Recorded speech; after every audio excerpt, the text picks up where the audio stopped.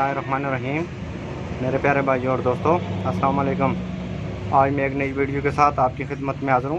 آج میری ویڈیو کا ٹاپک ہے سوزوکی راوی یا سوزوکی بولان اگر آپ اس کا بار بار سپیڈ میٹر سے تیل نکل آتا ہے، تیل لیک کر جاتا ہے، تو آج اس کو ٹھیک کرنے کا طریقہ میں اپنے دوستوں کو بتاؤں گا۔ دوستوں ویڈیو کا اینڈ تک دیکھنا ہے تاکہ میرے دوستوں کو صحیح سمجھ آ جائے۔ اور جن دوستوں نے میرے چینل کو ابھی تک سبسکرائب نہیں کیا، وہ سبسکرائب کر لیں۔ ساتھ بیل کے بٹن کو لازمی پریس کرنا ہے تاکہ ہر نہیں آنے والی ویڈیو آپ کو آسانی سے ملتی رہے۔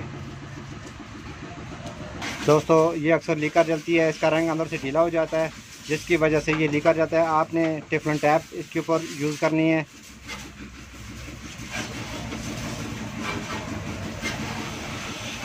آپ نے اس کو تھوڑا سا اوور سائز کرنا ہے۔ کرنے کے بعد اس کو آپ نے ہلکی ہلکی سلیکون لگانی ہے۔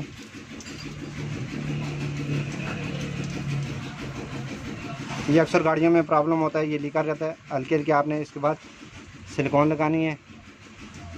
لگانے کے بعد اس کو آرام سے آپ نے اس کو فٹ کر دینا ہے۔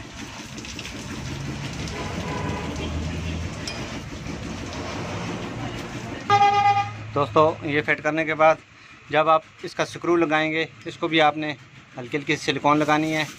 کیونکہ یہ سکرو کے اندر سے بھی تیل آ جاتا ہے۔ سکرو کے ساتھ آپ کو لگانا لازمی ہے۔ پھر آپ نے اس کو آرام سے ٹائٹ کر دینا ہے۔ دوستو، یہ ہماری فٹنگ کمپلیٹ ہو گئی ہے۔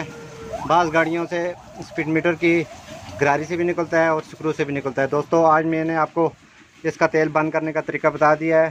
دوستو، ویڈیو اچھی لگی، لائک اور شیئر لازمی کرنا ہے۔ اس طرح چھوٹی چھوٹی ہر ٹاپک پر ویڈیو آپ کو دیکھنے پر ملتی رہیں گی میرے چینل پر۔ لائک اور شیئر لازمی کرنا ہے اور کمنٹ میں بتانا ہے کہ ویڈیو آپ کو کیسی لگی۔ اگلی ویڈیو تک مجھے اجازت دیجیے اللہ حافظ۔